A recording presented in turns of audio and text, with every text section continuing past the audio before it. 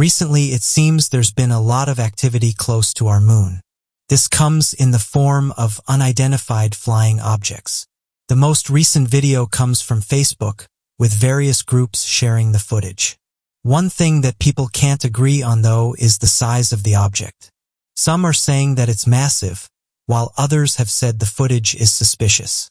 One individual said the object looks like a meteorite just collided with the moon, and that what we're looking at is the after effect. I've said that rather than being an asteroid, what we're looking at is an unidentified flying object. Interestingly, Avid sky watchers have been sending in photographs and videos showing strange objects close to our moon. Although there's some that don't believe these objects are UFOs, many are of the opinion that they are. There's even some that have suggested the moon is not what we're being told. The most legitimate theory available at this time comes from the works of Russian researchers Michael Vassin and Alexander Shibagov, who put forward the idea of an artificial moon. They began to notice that the craters of the moon regardless of the impact size or diameter, all equaled out in depth. They also noted that these craters had very shallow and flat interiors, and in other areas even containing convex bottoms. They hypothesized that meteors are hitting an armored hole underneath the surface of the moon, preventing further depths inside the celestial body, and believing the moon may be a possible spaceship created by complex alien life. They said that this theory was only reinforced as the mathematics for the moon and its density became an apparent issue. Given its size, location, and general theorized mega, the moon should have a density of roughly 5.5 grams per cubic centimeter. However, given its orbital path and overall physics, we find the moon to only be 3.3 grams per cubic centimeter, causing the moon to be much less dense compared to our planet, despite theories of the moon's creation coming from materials of the Earth. It's true that we know more about what's going on the surface of the moon than what's happening within our very own oceans. Seen as one of the most unexplored areas of the planet, our oceans are teeming with incredible mysteries and strange occurrences that have left experts all around the world baffled and amazed since their discoveries. One of the great things about Google Earth is that it allows us to view various locations across the planet from the comfort of our home. Recently, an individual discovered something mysterious in the South Atlantic. The person who made the discovery described it as a grid-like formation. Not much information can be found out about this structure, but in recent years many of these have been found. It's been put forward that there's various anomalies that can be found under the oceans, saying that whatever the structure is, it has various right angles. One person suggested that it could have been part of an ancient civilization. Various historians have admitted that many civilizations have been lost to the Dems, but thanks to modern technology, we are able to get a detailed look at them. Skeptics, however, went down a different route, suggesting that the structure could have been created by fishing grounds or ships in the area. However, Amateur researchers have said that it looks like an underwater structure. This isn't the only underwater structure that researchers have found. Referred to as the British Atlantis, archaeologists have begun uncovering an area of submerged land that is referred to as the Lost World of Doggerland, and it's located off the coast of Europe. Roughly 12,000 years old, the North Sea was at a depth much lower than it is today. It was due to this much lower natural depth that back in 10,000 BC, the location was used as a primitive civilization site for a collection of Stone Age people. Researchers have been aware of this site for quite a while now, with many having theorized decades in the past that since the site was flooded after the end of the Ice Age, roughly 7,500 years ago, it would have held a number of Stone Age ruins all throughout the area. Unfortunately, Efforts to better understand the site weren't made until technology could catch up with the expedition. One technology finally caught up with researchers' expectations, and a startling discovery was soon made. Deep in the North Sea, the site of Doggerland was mapped in three-dimensional space, using radar imaging and helped uncover massive underwater megalithic structures similar in design to Stonehenge. Proving to be the first ever attempt at major reconstruction in a marine environment, the 3D imaging has helped to elevate the researchers in the area and has been seen as a significant insight into the Mesolithic in Northwest Europe. As research continues in the area, only more information will be revealed to archaeologists, supporting possible theories of massive ancient civilizations predating the world's oldest human civilizations. As of today, the scientific community has said that fast radio bursts are not entirely understood. In fact, a number of these have been discovered, and if anything, the more we've studied them, the more we get confused. Fast radio bursts referred to as FRBs have always been a mystery for astronomers and scientists. But this new finding might help shed light onto what might be causing these strange signals. An international team of astronomers have just discovered a 157-day pattern of mysterious fast radio bursts. They've said that by further studying these mysterious signals, we may be able to track down where they're coming from and what causes them. In a paper published in Monthly Notices of the Royal Astronomical Society, the team at the Jodrell Bank Observatory at the University of Manchester said that their study has revealed this is only the second time that a repeating FRB has been discovered. The fast radio burst has been given the name of 121,102, and whatever it is, it keeps sending signals to our planet. With the researchers saying the FRB does this for around 90 days before going silent for 67 more days. The researchers behind the study said the following, this is an exciting result, as it's only the second system where we believe we see this modulation in burst activity. Detecting a periodicity provides an important constraint on the origin of the burst, and the activity cycles could argue against a preceding neutron star. This exciting discovery highlights how little we know about the origin of FRBs. Further observations of a large number of FRBs will be needed, and hopefully this will help us paint a clearer picture about these periodic sources and explain their origin. Another recent fast radio burst that made the news is that of FRB 18096.J0158-65. Interestingly, it made the news because every 16.3 days the signal followed a similar theme. Researchers have looked at the data and said that every four days it would spit out a burst. And then strangely it will go silent for the next 12 days. Not only would this be strange enough if it happened one time, but scientists have come forward and said that it keeps repeating this cycle, causing some to put forward the idea that it comes across as artificial rather than something that would occur naturally. It's not like this has only been happening for a few days either. Researchers in Canada have said this mysterious fast radio burst has been doing this for over 400 days. As of right now, the team have admitted they have no idea what it means, and that all this discovery has done is added more questions in regards to fast radio bursts. More study is needed to try and understand what these mysterious radio bursts are and where they're originating from. Some have suggested these bursts could be messages from other civilizations, and interestingly, researchers have not ruled this out. It's exciting to think this could be from an advanced civilization. However, researchers at this moment in time are just trying to work out why they keep stopping and starting the way they do. Ancient Egypt has fascinated researchers for years. Every year, Egyptologists uncover new artifacts, each one giving us an insight into what life would have been like thousands of years ago. Perhaps one of the most mysterious figures that lived during this era was that of Cleopatra. She is one of history's most recognizable figures, yet historians and researchers don't know much about her, and this has led to many archaeologists trying to uncover information that may give us an insight into our life. The lack of discoveries in regards to Cleopatra have interested many historians over the years.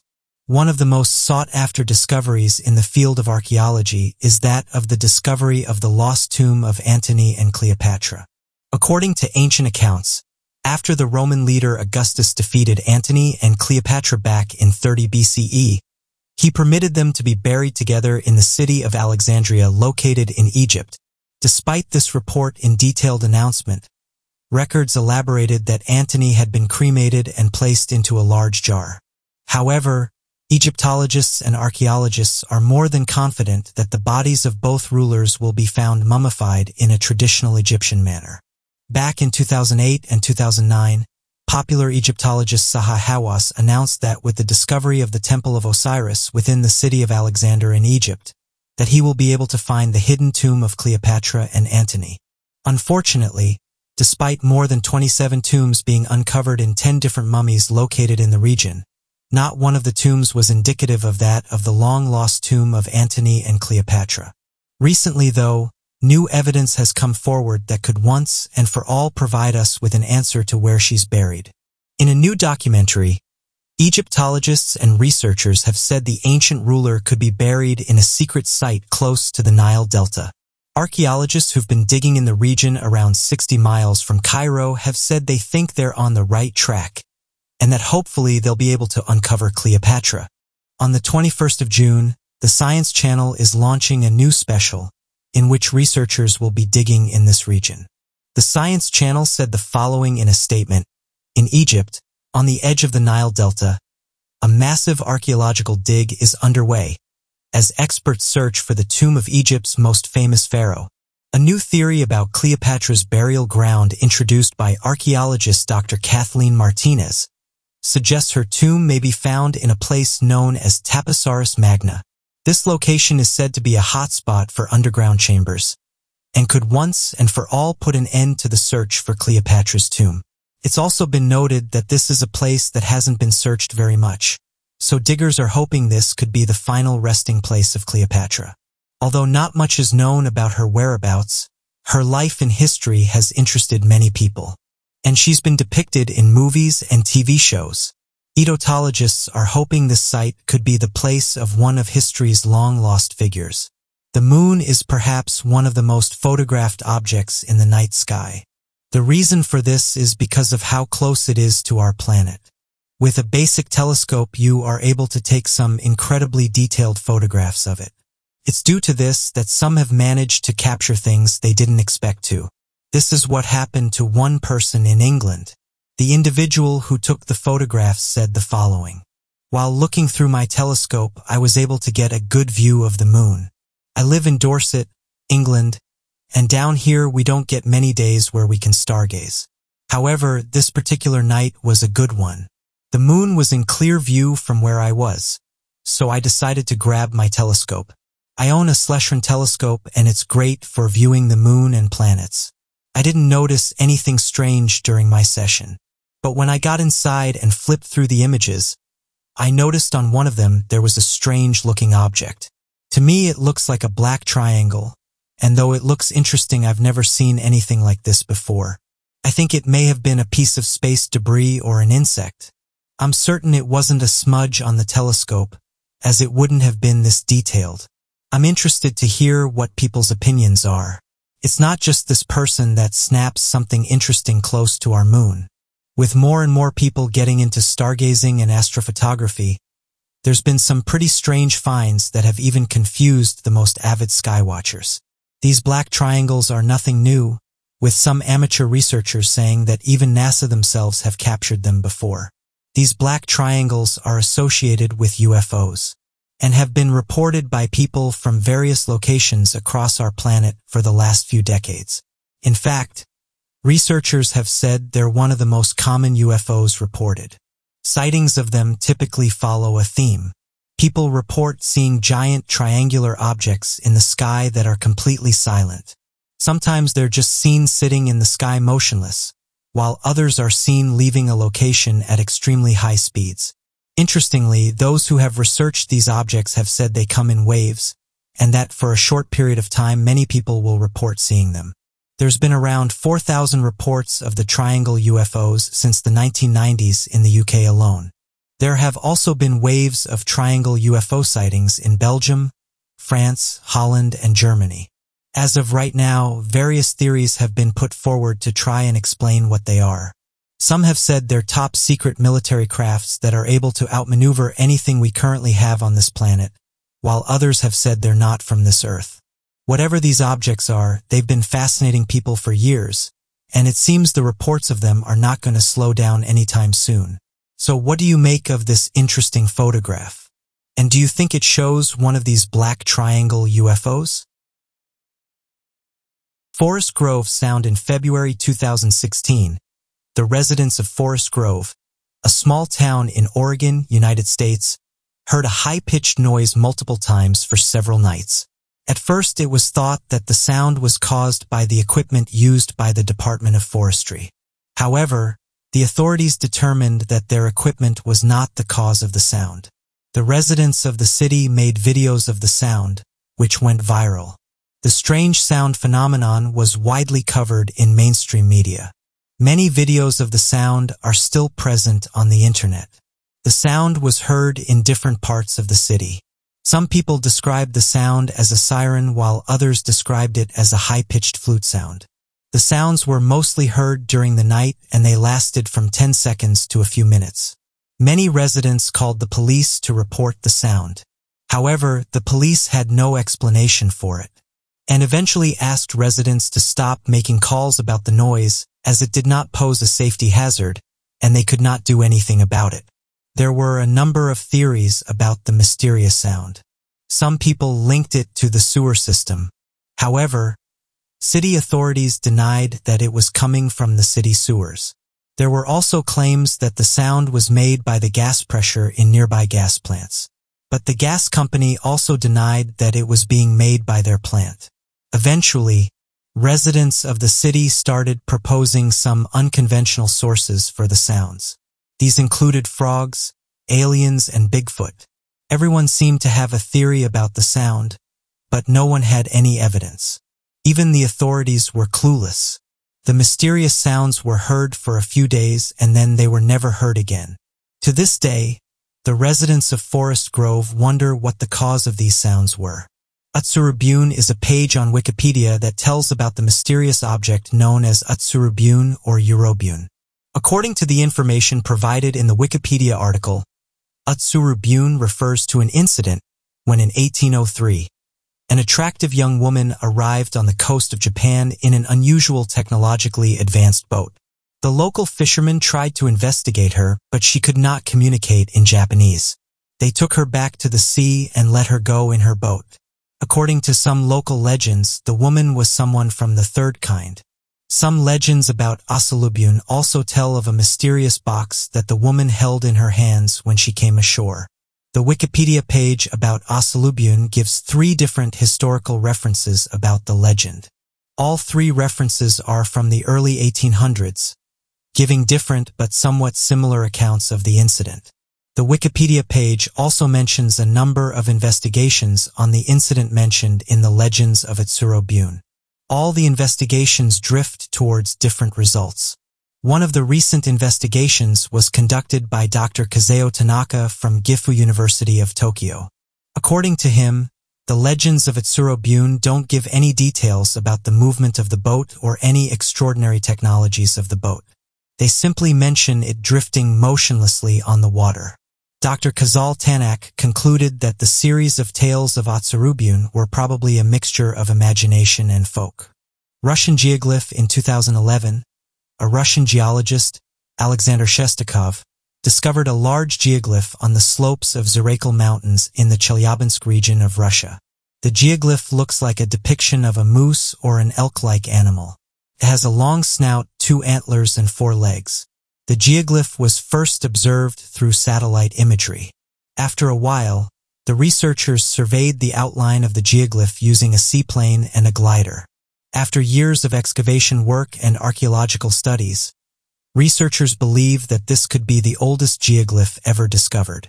It is believed that the geoglyph was made sometime between 4000 and 2000 BCE. During the excavations, geologists unearthed stones laying 4.5 meters. The borders of the geoglyph consists of large stones and there are small stones at the center. The creators of the geoglyph dug a trench and placed the stones in the trench. The geoglyph is about 195 meters wide, has a length of 715 meters and a diagonal of about 275 meters. Researchers believe that the figure was easily visible from a nearby ridge, and it had a white shiny appearance against the green grassy background. Researchers have also discovered 40 stone tools during the excavation work. These stone tools are made of quartzites. Most of them are mattocks which are similar to pickaxes and are used for chopping and digging. It is believed that the giant Russian geoglyph was built by a megalithic culture that inhabited the area. Many stone monuments were also created by this culture during prehistoric times. Geologists are carrying out further research to find out more about the mysterious geoglyph and why it was created. Orang Medan in June 1947. A Dutch ship named Orang Medan was sailing along the Straits of Malacca when it sent out a shocking signal indicating that the captain and the entire crew of the ship were dead. After the first message, a number of random Morse code sequences were received that could not be deciphered. The last message was translated into two simple but shocking words. I die. The grim SOS message of the Orang Medan was picked up by Dutch and British listening posts situated near Malaysia and Sumatra. The listening posts worked together to find the location of Orang Medan and alerted nearby ships. Silver Star, which was an American merchant ship, reached Orang Medan only to find the vessel in nearly perfect condition. Silver Star's crew members shouted at the Orang Medan, but they did not get any response. Finally, after shouting and waving for a long time, a search and rescue team was sent. When the team stepped on the Orang Medan's deck, what they saw was something only to be seen in nightmares. The entire crew of the Orang Medan was lying dead. Their eyes were wide open with fear, their mouths were wide open as if they were screaming when they died and their arms were spread wide as if they were trying to stop someone. The captain of the ship was also found in the exact same position. All the crew members were present on their designated places and rooms in the ship, but they were all dead and their faces had that identical horrific expression.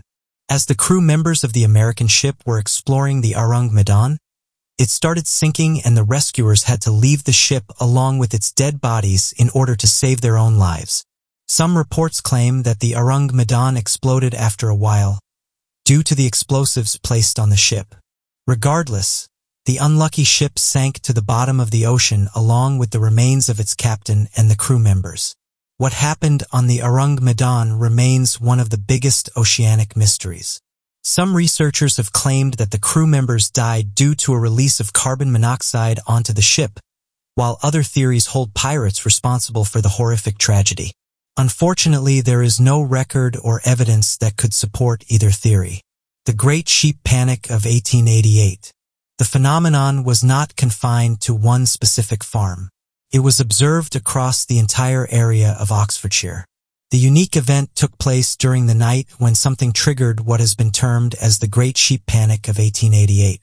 The next day, thousands of sheep were found widely scattered over an area of more than 520 square kilometers. Many of the sheep seemed frightened and were found in groups under the hedges at the corners of the fields. According to the Times, there was no possibility of humans being responsible for this massive sheep panic, as it would have taken a coordinated effort by more than 1,000 men to trigger such a large sheep panic. It was reported in a scientific journal that the night of the 3rd of November 1888 was an extraordinarily dark night. There were some reports of lightning in the area and occasionally bright flashes were observed in the sky. Sheep panics are not a rare phenomenon. However, such simultaneous, widespread sheep panic across such a large area is unheard of. There are a number of theories as to what caused this massive sheep panic of 1888. Some people believe that it was a result of some astronomical event in the sky that triggered the senses of sheep, and some people link the sheep panic with the lightning. It has been believed for many years that animals are able to sense or see different paranormal entities. Therefore, another popular theory about the 1888 sheep panic links the event to a possible encounter with a paranormal entity. Some people believe that perhaps it was an angel that visited the earth on the insanely dark night of November 3, 1888, triggering the sheep panic. Others have linked it to the devil or some other demonic entity. The fact that the locals of Oxfordshire did not report hearing anything strange on the night makes the sheep panic quite unexplainable. Storms are a common occurrence on our planet. During some of these events, though, they've unearthed some interesting discoveries. One photograph that's currently being shared is this one. It shows a huge ancient road that was allegedly lifted by a storm in the Pacific Ocean. The poster said that many residents living close to Sakhalin Island, a Russian island in the Pacific Ocean, claim that after the storm, the large roadway appeared. Residents reported that they were able to walk out onto it, but said that the event didn't last long, and the road sank back into the ocean. The island is known to have harsh storms, and in the past fishermen and locals have even passed away due to how strong they were. Except for a few eyewitness testimonies, not much information can be found out about the event. Online users said that although it sounds unlikely that a man-made road is lying just beneath the waves, it's entirely possible. After all, various ancient civilizations have been lost to the waves, including that of the mysterious pyramids of Yonaguni, also known as the Japanese Atlantis. One of the divers said the following after investigating the area. The larger structure looks like a complicated monolithic step pyramid. Rises from a depth of 25 meters or 82 feet, so there's definitely no shortage of these mysterious underwater structures. Some have suggested that this road isn't man-made and was likely just a piece of rock that got dislodged by the storm. Others, though, can't explain how a giant road somehow floated to this earth is even allowing people to walk on it. From the reports, the road was allegedly sturdy enough to allow dozens of people to walk up and down it. Some did note, though, that the air of Sakhalin Island is no stranger to these sorts of mysteries, saying that there's various stories of underwater cities and megaliths, and that in the past even mysterious creatures have allegedly washed up on the shores. All of these stories add to the mystery of the area. As quickly as the road appeared, though, it soon sank into the ocean leaving those in and around the area to wonder what it was, and if it will ever rise again. One of the last unexplored frontiers of our planet is not that of the endless deserts or impassable mountains, but rather that of our oceans. Every year scientists and researchers discover thousands of new species, new archaeological sites that were lost to the devs, and hidden caves that are home to an entire ecosystem. It's for this reason that the oceans of our planet are some of the most fascinating places to explore. During an investigation back in 2007, as archaeologists were scanning the waters of Lake Michigan in the hopes of locating old recorded shipwrecks, they found a number of strange structures that began to take form on their sonar imaging. At first, the structures appeared to be nothing more than a large number of rocks and boulders and peculiar spots, only to be later revealed to the archaeologists as massive megalithic carved rocks, featured a number of prehistoric markings on their surface. Additionally, the researchers discovered a grouping of these megalithic stones that seemed similar in design to that of Stonehenge, adding further proof that the large rocks had been artificially placed. When divers went down to gather more information, they found the rocks had a large number of strange detailed images that appear to be carvings of ancient and extinct mastodons. And these were all across the surfaces of the megalithic structures. Unfortunately, further information could not be gathered, as the archaeological experts were not able to reach the appropriate depths necessary. And the experts remarked that they do not dive, and said they're not skilled enough to gather appropriate information and reliable data.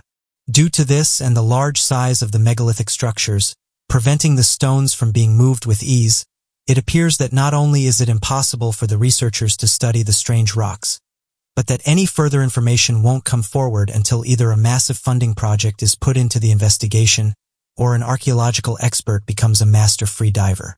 It's not just man-made structures that have been discovered. Researchers working in marine biology have begun to see what can only be described as a mass whale evolution across the planet seems to deny all expected research. Whales are a massive part of the ocean's ecosystem, surviving off plankton and other microorganisms that make up their large body size. And when they pass away, they serve as a significant amount of food resources for smaller marine life to decompose and thrive on. Because of their importance on the ocean's ecosystems, whales have been a closely studied marine animal. Better understand the secrets surrounding their evolution history, and impact on the marine world. But for reasons not entirely certain, many researchers have begun to notice that the average whale song has begun to decrease in frequency. Due to their environment, whales have naturally evolved a form of communication that uses different frequencies, and these are able to travel vast distances underwater. It's this communication system that researchers have said is changing, with whales of all species suddenly speaking at a much lower frequency. As published in the Journal of the Acoustical Society of America, the frequency of the Sri Lankan pygmy blue whale decreased from approximately 107 Hz to 100 Hz. This was over a decade. To date, this is the largest rate of decrease observed for any blue whale call. This new information has led to a few theories by researchers to explain the sudden frequency changes. Some have theorized that the noise of large-scale boats has dramatically risen, forcing whales deeper into the ocean and requiring them to speak lower frequencies to be heard over the background noises. Other researchers believe this change could be mostly due in part to decreased whaling. Regardless of what the cause may be, researchers are unanimous in that the changes in frequency shows evidence of a dramatic whale evolution. There will definitely need to be research more heavily to better understand its effects on the whale population and what it could mean for their communication. So what do you make of these interesting discoveries? And what do you make of the ancient road that allegedly appeared after a large storm? Yangshan Stele Material Quarry located in Nanjing in the country of China there lies an ancient stone quarry that has been a work site for ancient Chinese dynasties for more than three centuries and spanning more than six dynasties dating as far back as 200 AD. Unfortunately, exactly how the quarry was mined and made with such tremendous effort roughly 2,000 years ago is unknown as back in 1368 AD. The Hongwu Emperor would reopen the quarry location and used the quarry for the construction of his kingdom that would continue up past the early 1400s. Due to these later techniques in stone quarrying, archaeologists have had a hard time recreating what original techniques were used. Despite these more recent cuts, the size, quality, and techniques used by ancient people were thought to rival any other building project of ancient times, and the site to this day inspires a strange sense of awe and wonder as to its construction. Today, no quarrying of the site is allowed, as it has been declared to be a culturally historic and significant site that is no longer to be fully disturbed and is actively protected against degradation after the signing of the Provincial Register of Protected Cultural Monuments back in 1956. Stone balls. Over the years, there have been many strange ocean discoveries. The oceans cover a vast amount of the planet. Scientists believe it's more than 71%. A massive 97% of the Earth's water can be found in our oceans. So it's no surprise that strange things have been discovered. One such discovery is that of strange stones. They can be found scattered everywhere along the these are clusters of metal lumps and they were discovered by a German research ship. Just a couple of hundred miles east of Barbados, the mesh net captured these metal balls instead of usual marine life. Manganese balls have been found in every single ocean, but they are most commonly found in the Pacific Ocean. Some of the largest balls that have been found could be up to 10 million years old. Scientists believe that the nodules grow extremely slowly, approximately one centimeter in one million years. We still have no idea where these manganese balls originated from, but we hope they could provide us with a record of past climate changes. Dighton Rock, one of the most interesting discoveries in North America surrounding an isolated forest nearby the city of Dighton. Massachusetts is that of a large boulder described as being 5 feet tall, 10 feet wide, and 11 feet long, featuring a number of strange petroglyph markings that few have been able to decipher into a readable text. This boulder, known as Dighton Rock, weighs more than 40 tons and was originally located at the site of near Berkley in the state of Massachusetts. The first mention of Dighton Rock dates back as far as 1680 when a man by the name of John Danforth, a resident of a newly formed English colony in the region, would make a copy of the images of the rock and have them preserved and sent back to the British Museum for examination. Despite a number of experts from around the world journeying to the British Museum to make attacks at understanding the old markings, no legitimate translations would surface forcing experts to believe that the position of the rock alongside the riverbed would hold a number of contextual clues for researchers to better understand the strange petroglyphs.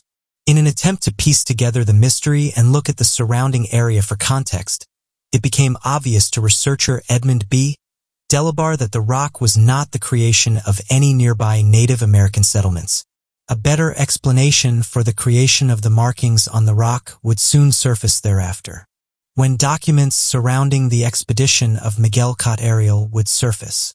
When analyzing the rock more closely, Edmund Delabarre noticed what looked like Latin characters in some areas of the petroglyphs, whereas other markings looked like landmarks and attempted images of surrounding regions.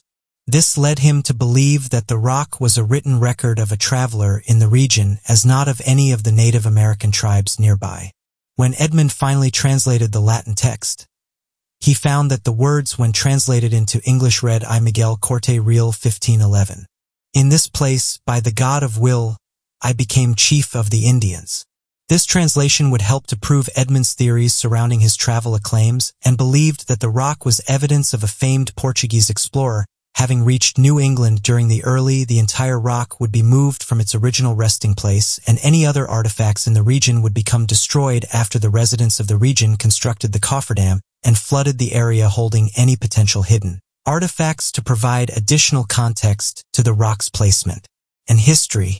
This would prevent any further evidence surrounding the creation of the rock or any nearby inhabitants, leaving the context and the history of the rock a complete mystery outside of these small translatable inscriptions. Hidden Ancient City discovering the ruins of an ancient city, surrounded by the sprawling plant life of a jungle, is a fantasy that many of us had in our youth.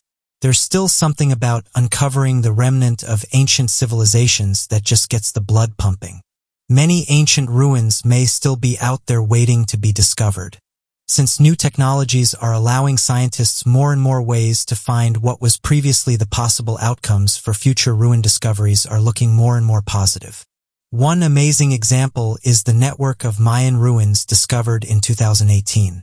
The Mayan people have been seen as a cornerstone of human civilization, with a deep and complex understanding of architecture, culture, and religious practices that still amazes historians today.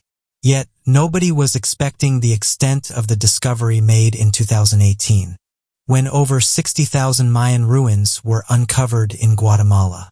While archaeologists had already spent years mapping out the region known as El Zotz, the development of LiDAR technology allowed researchers to create a detailed map of the area's surface from above, much faster than before. To give an idea of how dense the jungle is in this area, one archaeologist stated that one of the finds was within 150 feet, but due to thick vegetation, they had never spotted it. The LiDAR technology shaved years off of the team's overall workload, and it has uncovered an unbelievable amount of previously unknown Mayan ruins, including walls, moats, roadways, and fortresses. Some of the most interesting finds from the discovery include a seven-story pyramid that was completely hidden by foliage, as well as an intricate network of raised highways that connected all of the Mayan cities in the local area. These networks are particularly fascinating as they show signs of heavy use, indicating that trade between cities was frequent. Stephen Houston, a professor of archaeology and anthropology at Brown University, stated this discovery is one of the greatest advances in over 150 years of Mayan archaeology.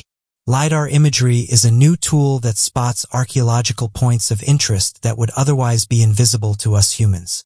Using remote sensing technology, LiDAR uses beams of lasers pointed at the ground to create an image map of the area's surface. The beams then bounce back and the wavelengths are measured, giving an accurate picture of what lies below. The find in Guatemala has made historians completely rethink what they thought of the Mayan people. Observing the thousands upon thousands of ruins, it could be possible that the civilization population was three to four times bigger than we once believed. Mr. Estrada said, with this new data, it's no longer unreasonable to think that there were 10 to 15 million people there, including many living in low-lying, swampy areas that many of us had thought uninhabitable. One caveat to this discovery is that while the find is a phenomenal discovery, researchers have their work cut out for them, as the El Zotz site is likely to house more than 3,000 years of Mayan civilization. This means that lots of the finds may be from completely different periods in Mayan history, and it'll take a long time to accurately study and catalog each and every one of them. Still, it goes to show that there could be an untold number of things waiting to be discovered in our planet's jungles. Aztec Sunstone The Aztec Sunstone is a mysterious circular stone that was discovered in 1790 in the Central Plaza of Mexico City. The stone depicts the five consecutive worlds of sun, as per the Aztec mythology. According to historians, this elaborately carved solar disk represented rulership for the Aztecs and some other Mesoamerican cultures. The top of the stone contains a date glyph that represents the beginning of the fifth and final sun, and the date 1427 CE. This legitimizes its Kotlas rule and creates a bond between mankind and the gods. The basalt stone has a diameter of 3.58 meters and has a thickness of 98 centimeters. It weighs around 25 tons. This stone was once a part of Templo Mayor's architectural complex, and the center of the stone has a representation of an Aztec god. The tongue of the figure is sticking out and probably represents a sacrificial knife suggesting the thirst for sacrifice and blood. Historians believe that this stone was originally laid on ground and it was smeared with blood sacrifices. At the time of its discovery, the Aztec sunstone was found laying flat and upside down. Some historians believe that it was left in that position in an effort to prevent the alleged final cataclysm, which was the fall of the final sun. Within the last few years, SpaceX has become one of the leaders in space exploration. The most recent news was that the company was picked by NASA to build the human lunar lander. This was an honor as it would have been the first lunar lander since the Apollo program. However, it's just been announced that NASA has suspended work on the almost $3 billion lander. A NASA spokeswoman said the following. Pursuant to the GAO protests, NASA instructed SpaceX that progress on the contract has been suspended until GAO resolves all outstanding litigation related to this procurement. SpaceX, though, has a busy year ahead of them in terms of launches and are still working on the human Mars mission. Elon said the following, and that's what being a spacefaring civilization is all about. It's about believing in the future and thinking that the future will be better than the past and I can't think of anything more exciting than going out there and being among the stars. End quote. Right now, though, there's a group of people that are asking Elon to go to the moon and investigate a mysterious anomaly, saying that whatever this thing is, it needs to be investigated as it looks like a giant ship. The individual who found this craft is Scott C. Waring, a vocal UFO researcher who's claimed he's found various UFOs and ships in space although NASA have replied to some of these claims and debunked them as camera anomalies and other occurrences that happen in space. Regardless, Mr. Waring believes this large craft is the real deal and even said the first space company to reach this could potentially uncover advanced tech. He said the following about the discovery. When looking over the Apollo 15 panoramic images, I came across a photo that has a mothership in it. It's not a cloud. Clouds do not exist on the moon. So I enlarged the photo and saw that not only was it a ship, it looked very similar to the Starship Voyager from Star Trek. End quote. It goes on to claim that the ship in question measures over 10.6 kilometers, or 6.5 miles. Amateur researchers have come forward in recent years and claim they found similar looking objects in old photographs. And they say this proves that there's more going on than what we're being told about.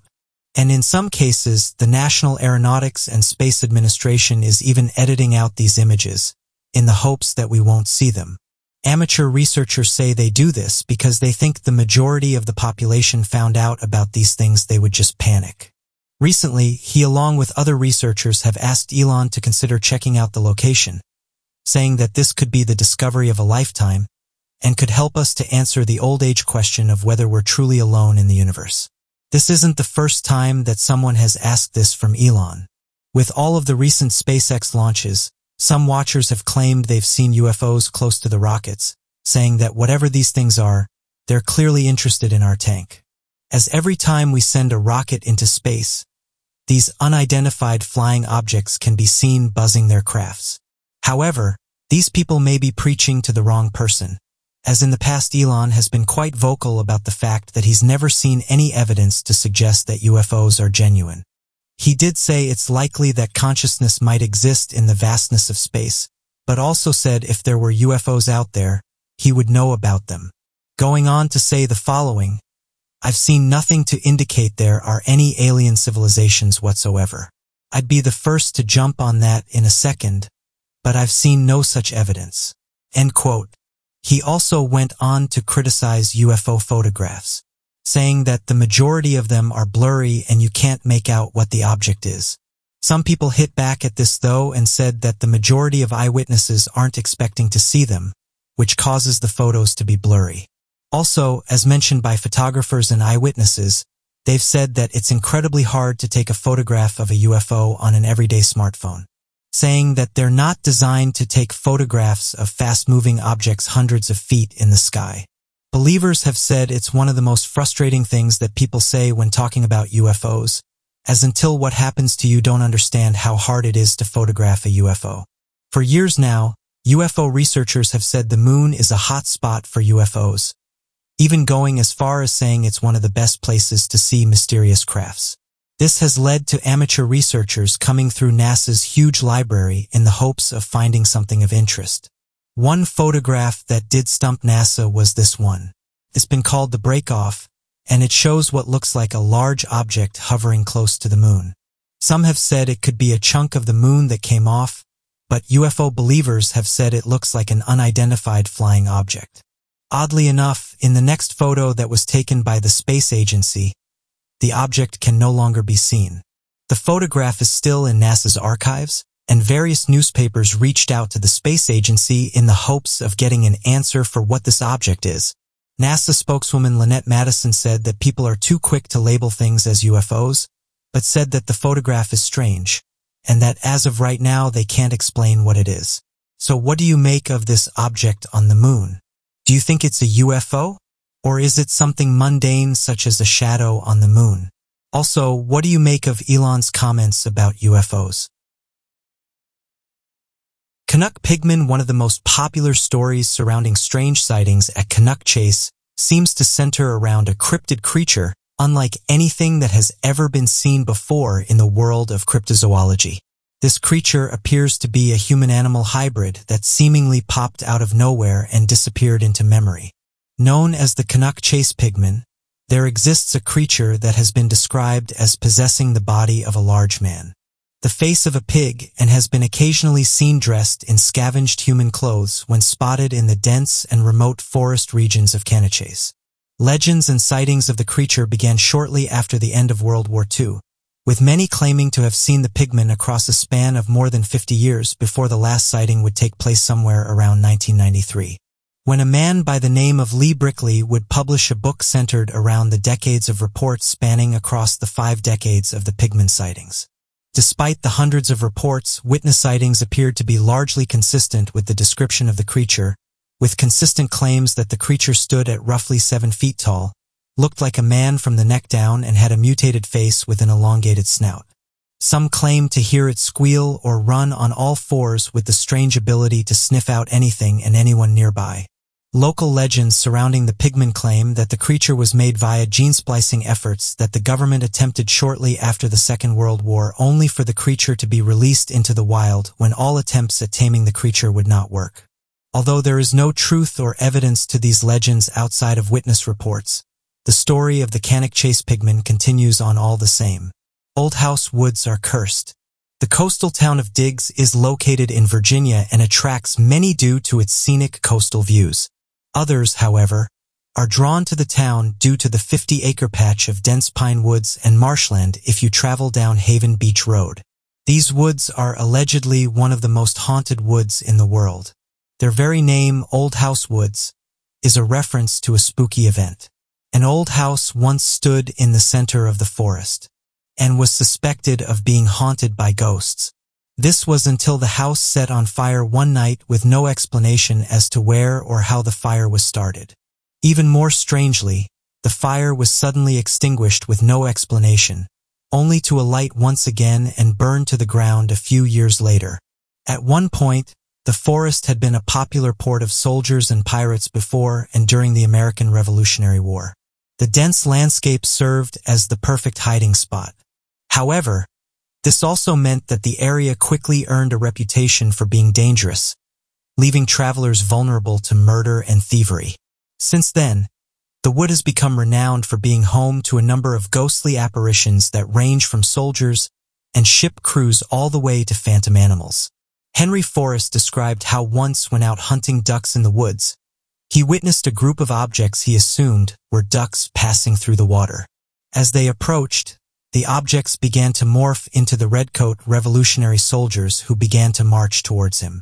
When Forrest tried to retreat to his boat, he found one of the soldiers was on board. When he threatened to shoot the soldier, it calmly replied that if he dared shoot, Forrest would have the devil's curse placed on him. When Forrest did try and shoot, he found his gun no longer worked. He was forced to flee for his life. Described how when out fishing in the woods, he saw a large wooden vessel approach him whose boards were crowded with crew members. Others have even described witnessing skeletons dressed in armor, carrying lanterns and brandishing archaic swords. Many believe these soldiers and ship crews are all searching for the multiple mounds of treasure that are reportedly hidden in the woods. It is said that an unrecovered stash of gold coins was buried in the woods by pirates in the 1600s, alongside some expensive loot from a treasure-laden ship sent to America from England in 1651 that was attacked by bandits. However, not all ghostly human apparitions are military in nature. One of the most famous sightings in the woods is the ghostly figure of a woman dressed in a white gown with a green glow emanating from her. On calm nights, she is said to walk among the trees and let out unearthly screams that has led her to her nickname as the Storm. The ghosts are not always human. Two black dogs have been known to jump out of paths while there have also been sightings of black horses, crows, and headless cows. Alongside ghostly sightings, those who visit the woods have often returned telling tales of strange occurrences. Travelers' horses would often fly into a panic while trotting through the woods, while humans have described struggling to catch their breath and choking or being filled with a sense of dread and imminent doom. It looks like inanimate objects are also victim to the woods. Cameras have malfunctioned, full batteries have suddenly gone dead, and recordings have no working sound when played back. While one or two spooky accounts can be dismissed easily by skeptics, the sheer number of ghostly sightings and unexplained events that have taken place in the Old House Woods have cemented its status as one of the most haunted places in America. Fiskerton Phantom The Fiskerton Phantom is a mysterious phantom cat-like creature that has been sighted near Fiskerton in Lincolnshire. The first sighting of the creature was reported on August 27, 1997, when four young girls reported seeing four feet tall bear-like huge creatures eating a pheasant. Upon seeing the terrifying black-colored creature, the girls immediately fled to the nearby Tyrwhitt Arms pub. What they had just witnessed. When they later returned to the site, they found large paw prints on the ground. Another alleged sighting of the Fiskerton Phantom was reported by Dave Brumhead, the owner of the Tyrwhitt Arms pub. According to him, a motorist had also claimed to have seen the Phantom at the same location where the girls had seen it. During 1997, several other sightings of a large phantom-like creature were also reported. The alleged sightings of the creature continued until 2011. There are a number of theories about the Fiskerton Phantom. According to experts, bears became extinct in the British Isles about a thousand years ago, and there are no other animals large enough that fit the description of the phantom. Some people believe that it could be a lion, some other large cat, or a bear that had escaped from a public or private zoo. Others believe that it could be a paranormal creature appearing in the form of a large phantom. However, there isn't much evidence to support any of these theories. Although there haven't been any recent sightings of the Fiskerton Phantom, many of the locals believe that a mysterious beast still roams the streets of Fiskerton at night. Black Stick Men cryptids one of the most peculiar reports surrounding paranormal activity located in forests all across North America appears to be that of a paranormal phenomenon known as the Black Stick Men cryptids. By all regards, the Black Stick Men are an extremely recent phenomenon with the first known report having been written roughly a little over a year ago during 2018 and no hint of such creatures having existed at any point in time prior to these first reports. The first well-documented report of the Black Stick Men cryptid came from cryptozoologist Mark Wolfgang Miller, of whom claimed that he had encountered the strange creature during an expedition around the small town of Beaufort, Wyoming. There he claimed that he and his team came within six feet of a black stick man that towered above them in the forest and would have been completely invisible had it not turned to face them. According to eyewitness reports, the Black Stick Men are a paranormal or supernatural cryptid that appears to stand at 7 feet to 12 feet tall, is completely void of color or light, and is typically described similar to that of a silhouette or shadow. These cryptids are so thin that the creature is widely claimed to be only two-dimensional in shape and, when turned sideways, is impossible to see by any eyewitness account. It is this two-dimensionality that allows the black stick men cryptids to sneak up on the eyewitnesses in their stories and suddenly appear in front of them after turning to face them. Black stick men are not similar to reports of shadow people in mostly three separate regards. Unlike claims of shadow people, the black stick men are widely regarded as being two-dimensional, whereas shadow people have three-dimensional shapes. Additionally, those of whom have claimed to have witnessed the black stick men will often say that they feel a sudden oppressive negative energy fill the air causes a strange feeling of aggression and agitation in those surrounding or looking at the cryptid. Several theories of the creatures so far believe the cryptid to be an interdimensional being only recently having accessed our three-dimensional plane. Counters with the Dover Demon First spotted back on the 21st of April in 1977 within the town of Dover, Massachusetts, was that of an alien-like creature that many residents have come to now know as the Dover Demon.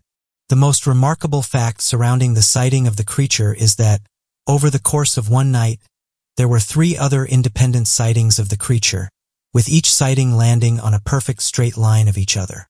The first sighting occurred in the evening of April 21st when a teenage boy named William Bartlett, only 17 years old, was driving down Farm Street in the town of Dover. His witness report claimed that the creature walked on all fours, had tendril-like fingers, large glowing eyes, and had been walking atop a stone wall with perfect balance.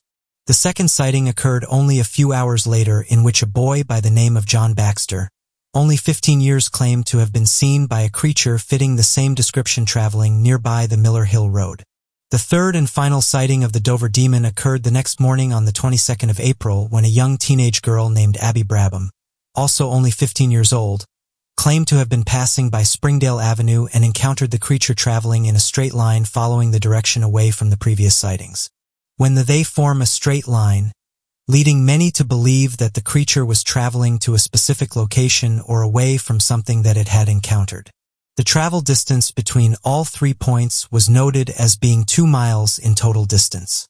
Despite each teenager having gone to police to report their findings, the police quickly dismissed the case and claimed that what had probably been seen was nothing more than a moose calf. To this day, the three still claim what they encountered was some sort of a monster, but and nothing native to our planet Earth. Between the years of 1998 and 2020, countless people have gone missing. The sad thing is that many of these cases remain unsolved. One of the most recent reports detailed the disappearance of a woman named Watiba, and she lived on Muna Island. After being reported missing, her sister decided to search the air in the hopes of finding her. She came across her sister's shoes and noticed some footprints that led into the nearby forest. She said that her sister had been worried about the local boar as they sometimes go for people and said that at the time of her disappearance she was checking up on her crumbs. After reporting her sister missing, over 100 locals joined the search, which allowed them to cover more ground. It was during this search that a chilling discovery was made. Around half a mile from our home, one of the locals found a reticulated python, and it was very swollen. The group took the snake back to their village, and once they opened it up, they found the woman inside. Unfortunately, she had passed away. The reticulated python is found throughout Asia and holds the record as being the largest snake in the world. The average size is between 4 and 7 meters. Although according to the Natural History Museum, the longest reticulated python ever recorded was found in 1912 and measured 10 meters or 32 feet. There have been a few reported cases of these snakes going for humans, although wildlife experts have said they will normally go for much smaller animals. Experts, though, said it's important to keep in mind that reticulated pythons rarely go for humans. Has only been a half or F cases where this has happened, but noted that if the snakes are hungry and a human happens to be close by it will attack. The reticulated pythons are constrictors, meaning they take out their prey by squeezing them. Professor Harry Greene said the following, It would be extremely difficult for me to save my life without help. It wouldn't take very long and it would be awful. End quote. Pythons are some of the most powerful snakes on the planet. They are non-venomous, meaning that the only way they can take out their prey is by squeezing their life out of them. Interestingly, wildlife researchers have said this method only works on warm-blooded animals, with them saying that when observed in the past, this method has little to no effects on cold-blooded animals. According to National Geographic, a boa constrictor was observed squeezing an iguana for over an hour. After this, the snake held on to it, but those observing the event said that after the ordeal, the iguana just ran off. A similar event made headlines when a local farmer in Indonesia was swallowed by a reticulated python. This one measured over 20 feet. Dr. Green said it was a rare occurrence, but noted that there are cases where this has happened. Indonesia is one of the places where it happens the most. Farmers are going about their business and sometimes don't realize that a python is nearby. Pythons will also go for things like monkeys and even orangutans. Villagers said the farmer was taken out from behind, with wildlife experts saying in this case he was likely stalked by the snake. The majority of snake bites come from self-defense. But these snakes have also been observed wading close to trails.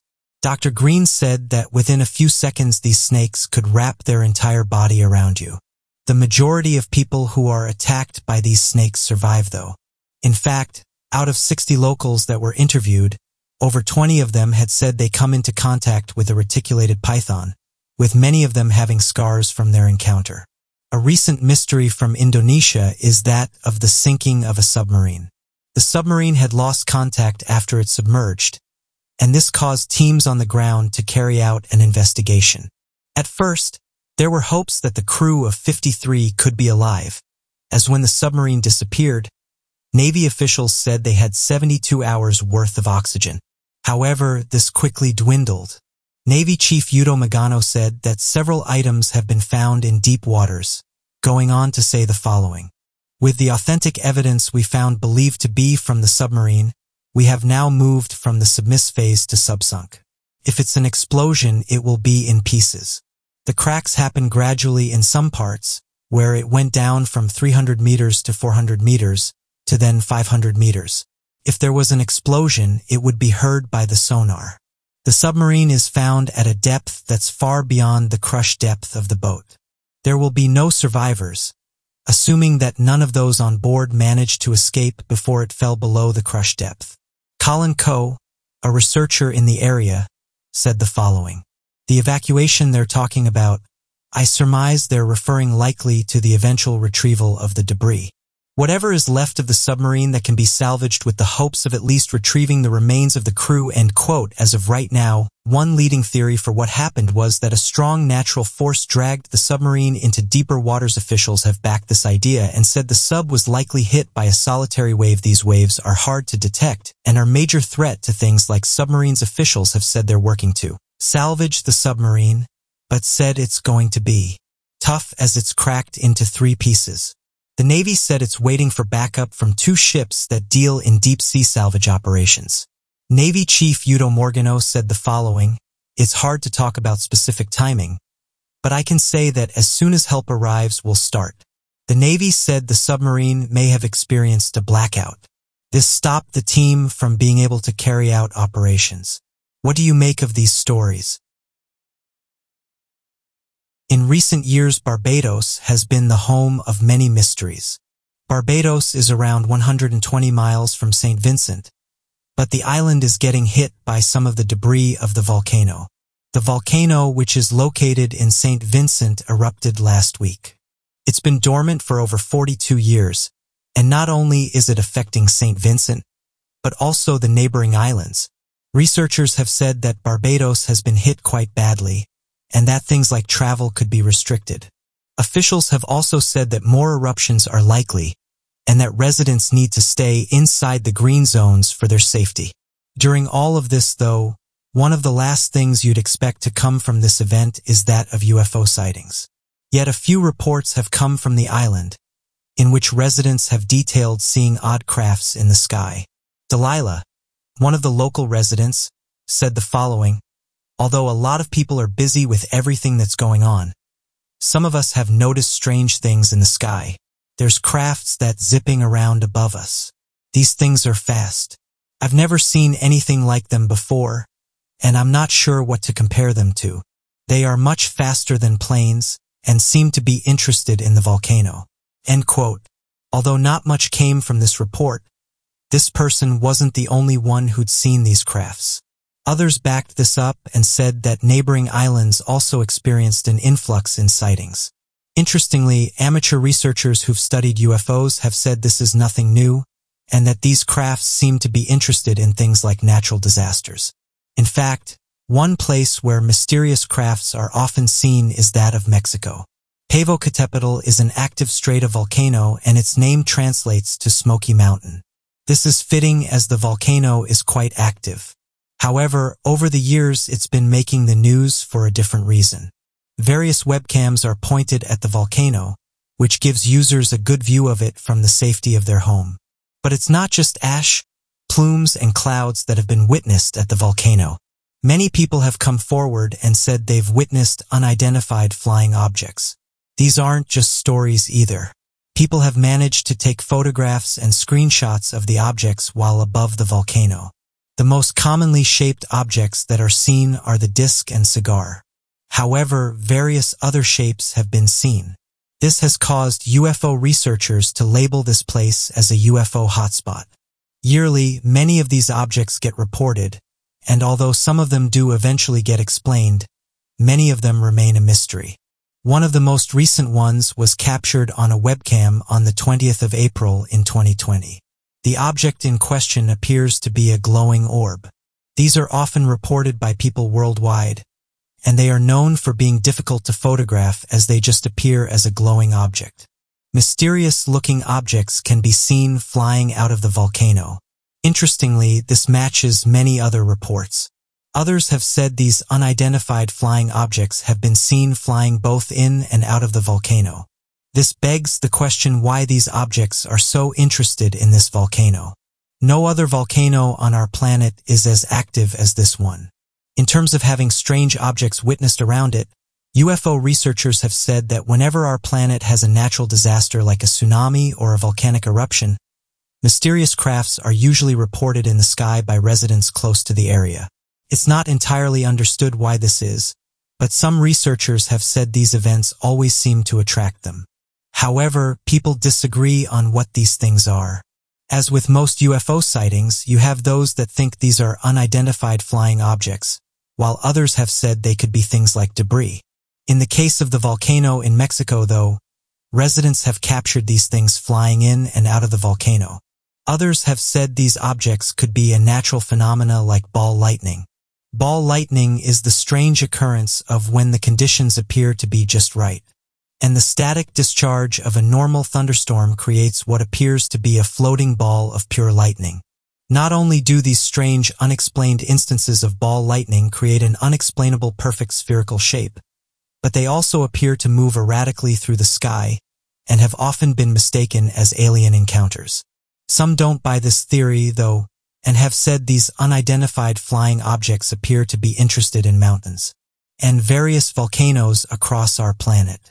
In the last 50 years, thousands of UFO sightings have been reported in and around volcanoes. One of the most recent videos shows what looks like a large cigar-shaped object flying into the volcano, with some viewers even saying that when it enters the volcano spits out some ash. What's odd is that residents have been reporting these sightings for years now. Some even claim this volcano is like a sort of portal and it seems to attract these crafts while others have reported they've seen things flying out only for them to fly away into the night sky at extreme speeds. These crafts come in different shapes and sizes with some of the most commonly reported ones being that of the disc, the orb of the triangle, and the cigar. So what do you guys make of these reports? And what do you make of these objects? Do you think they're just everyday things? Or do you think they're genuine? If so, why do you think they're so interested in natural disasters? Antarctica is a hostile place. A small team of people call this place home. living in government buildings that were placed there years ago. But every year, various mysterious discoveries are made in and around Antarctica, with one of the most recent ones being this one that shows four large structures. One person who was looking through Google Earth said they were looking close to Antarctica and noticed four large objects that looked like islands. They said the following, I usually go on Google Earth and look around our planet. It's an incredible tool that lets you see incredible sights. The other day, though, I noticed these strange objects off the coast of Antarctica. I often look at Antarctica not for any particular reason, mainly because it interests me and I like to see if there's any geological changes. But I soon spotted these four island-like objects. These were close to the shore. The thing is I often look around this area and I haven't noticed these things before. I know Google Earth can sometimes show anomalies, but I have no idea what these things are. They looked huge and just reminded me of islands. End quote. Interestingly, this wasn't the first person to point out these strange structures. Other online viewers also noticed these strange objects close to Antarctica, and soon people started to give their opinions on what they thought the objects were. One person said the following, I have no idea what these are. Could they have been created by volcanic activity beneath the ocean? They look like phantom islands. End quote while another person said the following, Antarctica and the area around it are home to many strange things. There's various pyramids that can be found close to Antarctica. In fact, recently, someone found a couple of pyramids a few hundred miles away from Antarctica. There's certainly no shortage of strange things going on there. End quote. While skeptics weren't impressed and said that what we're likely looking at is something like a glitch on Google Earth saying that in the past similar things have been found. Others, though, pointed out that due to the very strange things that have been found close to Antarctica, we should at least investigate these things further. It's not just these floating objects that have confused people. On the surface of Antarctica, various different finds are being made, some of which appear to show large-looking structures.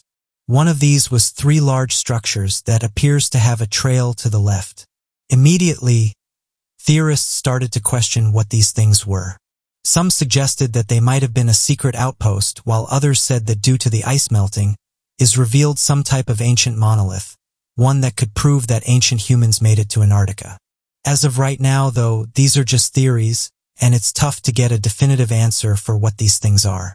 Another interesting discovery that was made by scientists was that of a forest. It's believed by many different researchers from around the world that the continent of Antarctica was once inhabited with a lush green forest, saying that this would have surrounded the entire area. Evidence can be found of this when looking at a team of archaeologists and researchers that led an expedition in Antarctica in November of 2016. That lasted for several months, ending in January 2017. The team found incredible evidence of ancient forests in the region. This was after locating and identifying several different traces of fertile growing lands, areas of climate change in the past, as well as large amounts of fossil fragments from ancient trees that dated as far back as more than 260 million years ago. This timeline correlates with one very important event in the past, the Permian period, also known as the greatest mass extinction event in the history of the world. Before this event, there was much more carbon naturally in the atmosphere, which created lush green forests all around the world. This large amount of carbon allowed many creatures to thrive. It also meant that our planet was able to support larger forms of animal life. It's interesting then to consider this idea that roughly 260 million years ago, the continent of Antarctica would have been a densely populated lush green forest with a tremendous variation in wildlife and ecosystems. A professor at the University of Wisconsin, known as Dr. Gulbranson, argues that the continent as a whole was much warmer and even more humid than many areas in the modern day. In fact, it has overwhelming evidence that the area would have been closer in resemblance to the forests of Siberia.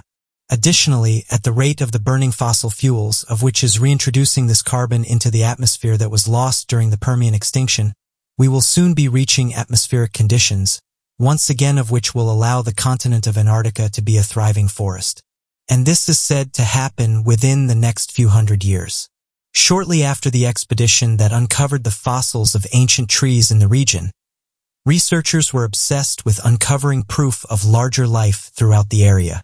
Back in 2010, researchers used large-scale blasting to blow out layers of surface rock against the Antarctic mountainsides in an effort to uncover possible fossil layers buried deep beneath the glaciers. After several months of searching and mining for fossils, the research team uncovered exactly what they were looking for.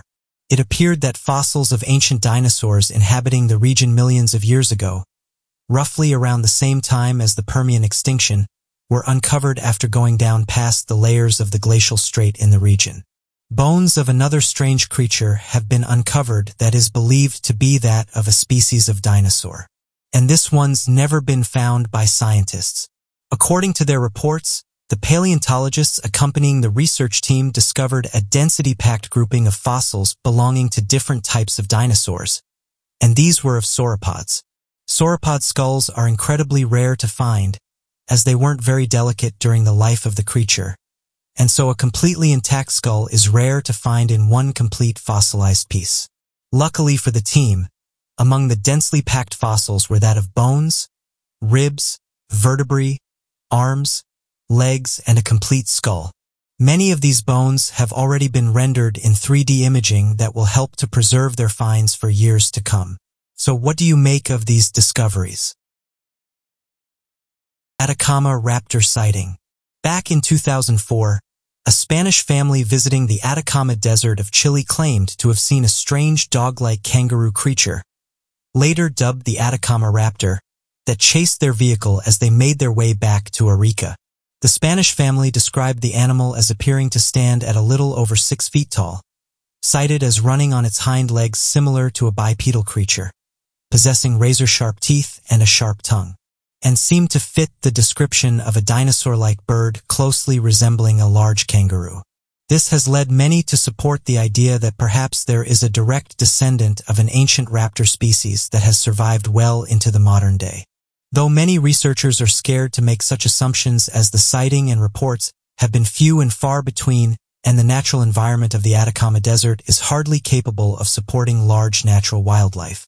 If there are surviving raptor species, creature would be similar in design to the modern-day ostrich with its bipedal design and large bird-like body. Unfortunately, for a creature of that size to exist in the region, it would also need to possess a significantly large enough population to continue its numbers without any damage mutations in the species. It is for this reason that it is believed that the Atacama raptor must be an endangered species, hidden across Chile in uninhabited regions across the country. Given the fact that the sightings of the creature are few and far between, many believe that perhaps the unknown species is already extinct, if it ever existed in the first place. Does forensic science substantiate Bigfoot claims? Jeff Meldrum, professor of anatomy and anthropology at Idaho State University, believes it does. And who better to believe than an expert in the evolutionary morphology that is the study of how primates adapted to bipedalism? In his research, Meldrum studies footprints to determine how humans have evolved for upright walking. He's studied samples from Hawaii and Africa as well as from places all around the world. Meldrum attributes his interest in Bigfoot to a track he discovered in southeastern Washington. It was here he says he found a fresh track. So fresh he could still see the skin ridge details. The print was at least 14 inches long. That first sighting was over 20 years ago. Since then, Meldrum has studied over 300 footprint casts as well as hundreds of pictures of the alleged Bigfoot. When describing these casts, Meldrum said the feet are broader and flatter than any human. He also noted the lack of arch and thumb-like big toe that would be similar to an ape's. Instead, there was a big toe more like a human's. The toes were longer, presumably to help navigate the uneven terrain. Furthermore, Based on the imprint, Meldrum believed that the prints couldn't have been manufactured as some believed. The print is pressed into the ground in such a way that it shows flexibility in the foot. He noted that these prints are surely adapted to allow a large primate to walk on two legs. To Meldrum, this evidence is proof that Bigfoot may exist and it would be ridiculous to simply discount his existence. Meldrum doesn't simply believe in Bigfoot, he is certain he exists. Even skeptics applaud his work. Encounters with the Kraken born from Scandinavian folklore, the Kraken was an enormous cephalopod dwelling in the waters near Norway and Greenland. Early sightings of the creature go as far back as 1250 when an anonymous author described it in a Norwegian text. This narrator believed there to only be two kraken alive as they were spotted in two specific areas. In the text, the kraken is described as then like a fish. While this gives no specific measurement, it definitely reveals how people perceived the size of the creature. The work goes on to tell of a great mouth that would open and devour many fish before locking its jaw closed. Over the years, many tales of the creatures were told. Researchers believe that the tales started as a sighting of a giant sea squid. Some of these may even grow to be 40 to 50 feet in length. To see that looming beneath a boat would surely stir up superstition and fear among sailors of the time. The tales of the monster grew larger with each telling, and soon the kraken was overtaking entire boats and swallowing up entire crews. There are few tales that stand out among the others. In 1873 near Newfoundland, it is said that two fishermen and a 12-year-old boy fought off the kraken with nothing more than an axe. When the kraken wrapped its tentacles around their small boat, the boy hacked off two of them. Later, in 1874, a 150-ton schooner was said to be the next victim. Witnesses from a nearby ship called the Strathowen reported seeing a kraken wrap its monstrous tentacles around the schooner called the Pearl, also just south of Newfoundland. Although the crew of the Pearl fought the creature, the ship was overtaken and dragged into the depths, leaving a cloud of ink in its wake. The Strathowen moved in to rescue the crew that miraculously survived the attack. Are all of these just tall tales and folklore? Maybe. Science seems to prove the tales do stem from some fact, however. It is widely accepted that large squids do exist in the dark waters of our oceans. In fact, in July of 2012, the very first video of a giant squid had been captured. Although the video shows only a 30-foot squid, the largest one on record was a whopping 55 feet long. The Kraken is just one of the many myths spawned from the unknown. A giant squid sighting, oral folklore sparking fear in the hearts of sailors hundreds of years of embellishment. Although they are not swallowing up entire ships, it's safe to say enormous mysteries are swirling around in the dark corners of the unexplored oceans. Australian bunyip. Described as one of the strangest creatures in Aboriginal myth, the bunyip of Australia seems to be a monster that borders more on the supernatural than on the natural or cryptozoological. Though many Aboriginal drawings will depict a panther-like creature as the bunyip, the truth surrounding the bunyip is that the creature has no true physical form and has the ability to shapeshift into a creature of any kind. This has led many of the Aboriginal people to telling stories of the bunyip taking strange forms such as that of a large flying starfish, a creature with large tusks and the face of a dog. A number of strange forms that seem to be an amalgamation of a number of creatures and even that of a large man. Its normal form is believed to be nothing more than a strange ball of light that leads many to believe that perhaps the creature is more of a manifested spirit with the ability to take physical forms of any kind. Additionally, the spirit is believed to live in the waters of Australia, usually having surfaced or exited from a body of water such as a river, lake, or shoreline. Though the majority of the information surrounding the bunyip is that gathered from stories and legends of the Aboriginal people, there has been also a number of reports from old British trade ships during the first days of inhabiting the Australian area, leading to a number of written reports surrounding the dangers of the creature and encounters from merchants and officers. This has led many to believe that perhaps there was some sort of violent creature that targeted ships or movement in the water, though researchers are uncertain what it could have been. Today, there are still reports on the bunyip creature all throughout Australia, leaving many to wonder that perhaps the creature is still residing in the waters in the modern era. Bringing back prehistoric creatures over the years, many different theories have been put forward to try and explain the demise of the dinosaurs. One of the leading theories is that a giant asteroid hit our planet millions of years ago. Researchers and paleontologists refer to this as the KT event. Interestingly, it was recently announced by scientists in Russia and South Korea that they've been working on bringing back prehistoric creatures to life. The team are currently carrying out research in a lab that cost $5.9 million to build. They hope to study animals that were once extinct by looking at their cells. Some of the creatures they are looking at bringing back include the cave lion, woolly mammoth, woolly rhino, and species of horses. At this moment in time, researchers have said this is near impossible to do with dinosaurs, but some of these Ice Age creatures still have intact tissues and cells which make the process much easier. This is no longer a fantasy. Scientists from Harvard and Russia have already delved into mixing genes to bring back species that are extinct.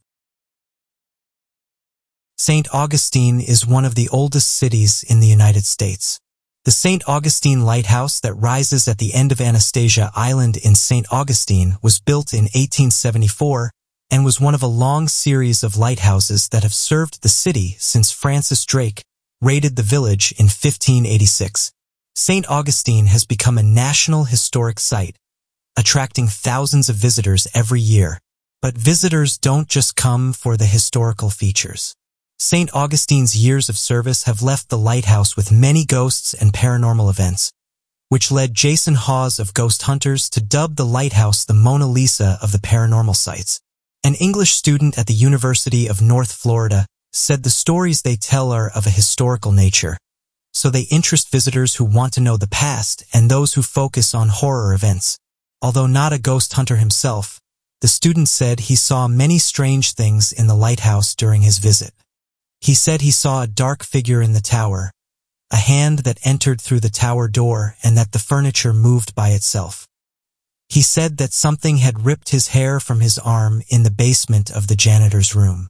He also claimed that something also grabbed him by the ankle while he was walking. Other people who visited the lighthouse claimed to have seen a girl dressed in vintage clothes looking from the lighthouse door, or standing near a window upstairs. In 2009, a cell tower technician took a picture of his colleague with a lighthouse in the background. However, upon viewing the image, he could see a girl with a long dress and long hair standing alone and staring out on the upper observation deck.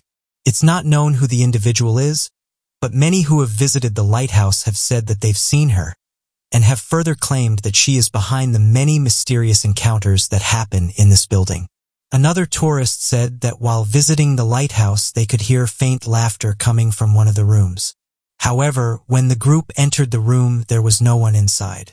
Interestingly, when the group entered the room, they remarked on how cold it was. It had been a hot day, but for some reason this room was ice cold. They couldn't explain where the laughter was coming from and why this room had the temperature it did. These and more ominous events have made the St. Augustine Lighthouse a popular tourist site for horror enthusiasts. Is Alcatraz haunted?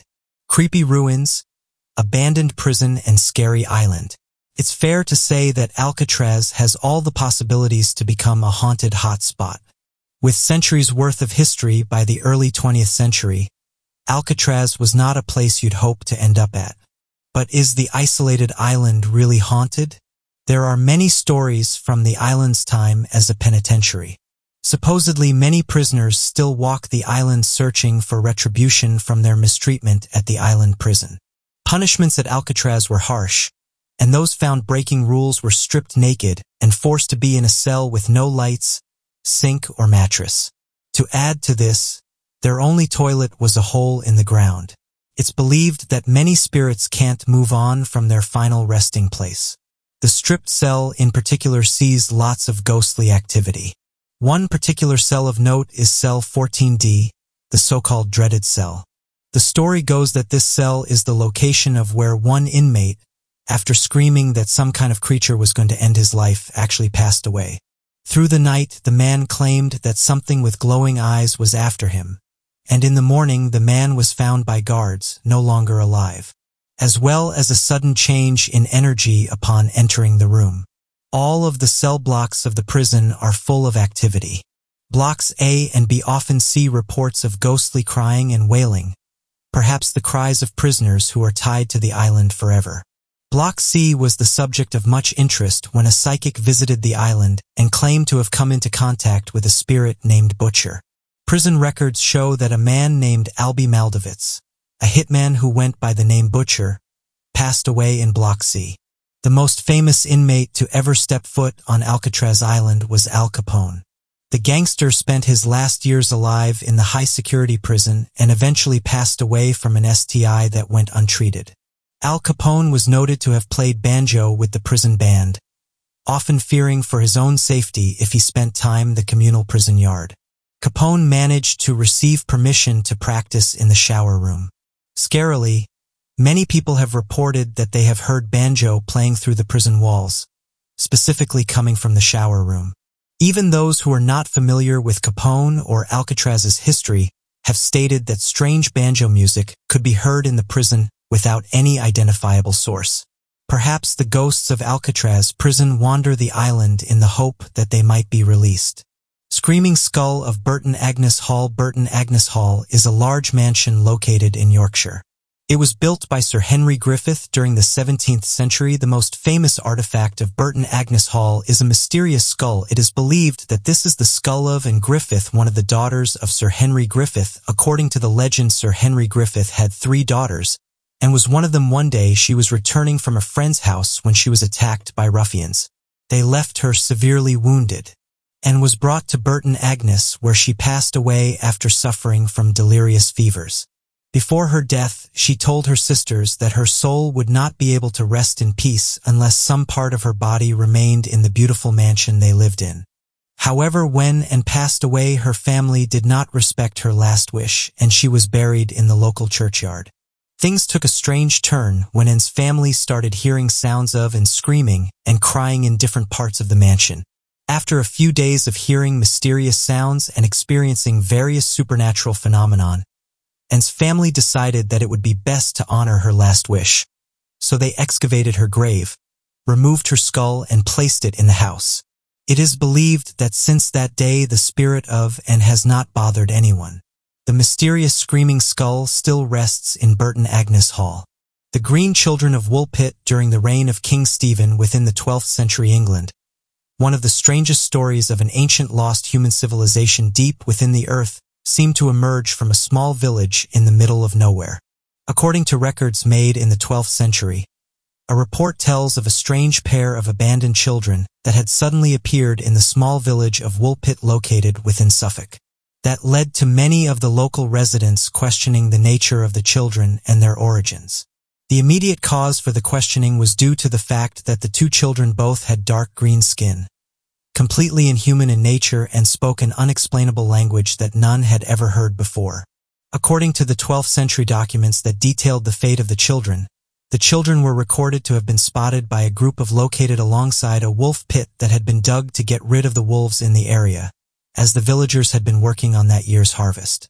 The villagers all noted that the children had unexplainable green skin, spoke a strange unknown language and wore clothing that was completely unfamiliar to anything any of the villagers had ever seen before, though the exact description of the children's clothing is unknown.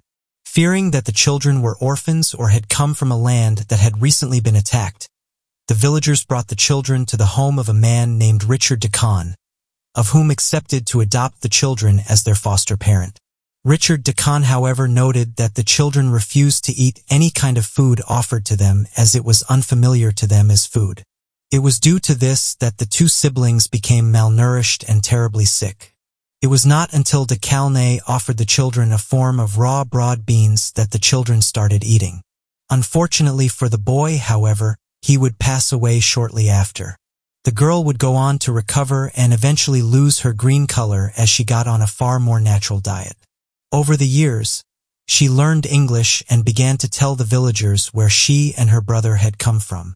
According to the girl, she and her brother came from a place known as St. Martin's Land.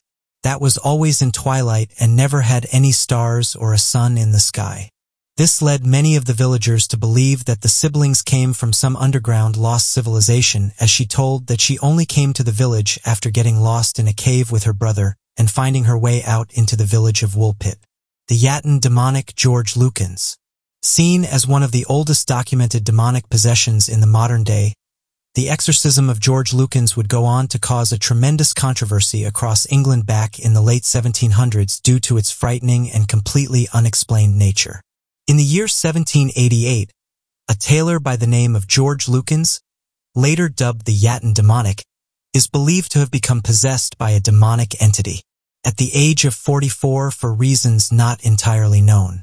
According to a woman known as Mrs. Sarah Barber, she claims that as she was traveling through the village of Yatton Mendip, she had come across a man that suffered from an unknown condition in which the man would sing and scream in various pitches and sounds that did not sound like anything a normal man could have ever produced and would often declare that doctors and science could never fix him from his ailment. Mrs. Sarah Barber, fearing for the man's soul, immediately wrote a letter to the Reverend John Easterbrook, an Anglican vicar of the Holy Cross Church, about the man in the hopes that something could be done to assist him. Among her claims, Sarah Barber wrote that she had known the man when she had formerly resided in Yatton and attested that the man known as George Lukins had an extraordinarily good character and had attended every service of worship for most of his life. George Lukins claimed that the beginning of his demonic possession began when he had been acting in a Christmas pageant, when suddenly he felt a slap from an invisible hand that knocked him down at the age of 26.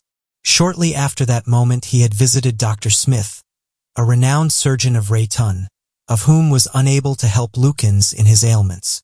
After a 20-week stay, with a number of physicians trying to help him, George Lukins was deemed incurable by the field of science and medicine and was forced to leave the hospital. It was that he had been possessed by seven demons and that he believed only seven clergymen could free his soul, though would not receive help for 18 years. Reverend Joseph Easterbrook, alongside seven clergymen, took George Lukins to the vestry at the Holy Cross Church and began their exorcism, which included songs, prayer, and casting the demons back to hell. Although no supernatural evidence was seen, after the exorcism took place, George Lukins was able to sing praises once again and demonstrated no further symptoms of his demonic possession.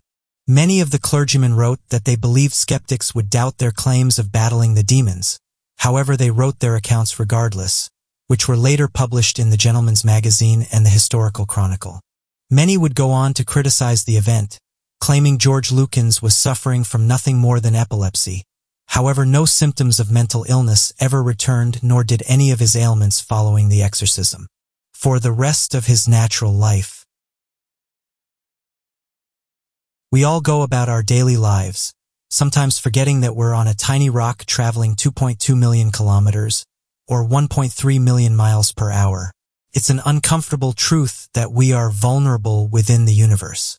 It's a fact that asteroids approach the Earth every year. There's never a guarantee of total safety, and it's just a matter of sheer luck as to whether we are directly hit.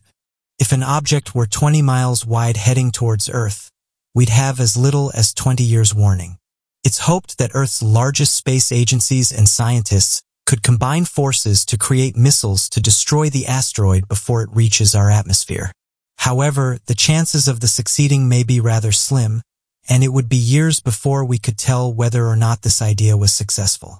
Therefore, it's likely that alternative survival strategies would be formulated in the event of missiles failing to intercept the asteroid.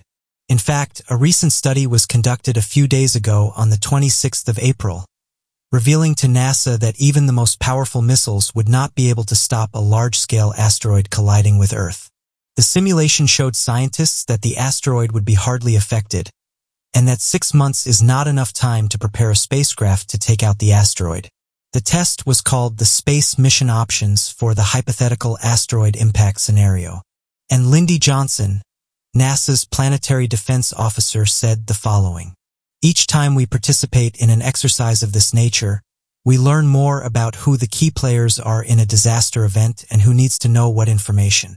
These exercises ultimately help the planetary defense community communicate with each other and with our governments to ensure we are all coordinated should a potential impact threat be identified in the future. End quote. Dr. Paul Chodas said the following Hypothetical asteroid impact exercises provide opportunities for us to think about how we would respond in the event that a sizable asteroid is found to have a significant chance of impacting our planet. Details of the scenario, such as the probability of the asteroid impact, where and when the impact might occur, are released to participants in a series of steps over the days of the conference. Simulate how a real simulation might evolve. End quote. We have been hit by a number of asteroids in recent years. The evidence for this is ancient craters which can be found all over our planet. Even in recent times, asteroids have caused extensive damage to Earth.